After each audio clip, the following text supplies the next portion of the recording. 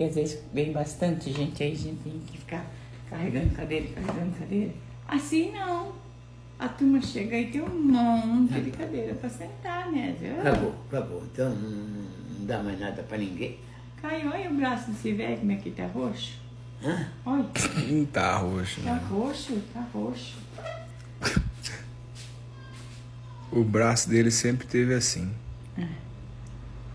Já faz dois anos que eu tô aqui. Tá queimado, mas. Tá assim, queimado. Do jeito que tá roxo ali do lado. Tem uns beliscão que ele aparece de vez em quando nele, que aí eu não sei de onde que é mesmo. E às Já vezes que não de passa fundo. Ah, é, né? Defunto. Faz dias já que eu não passo a pomada.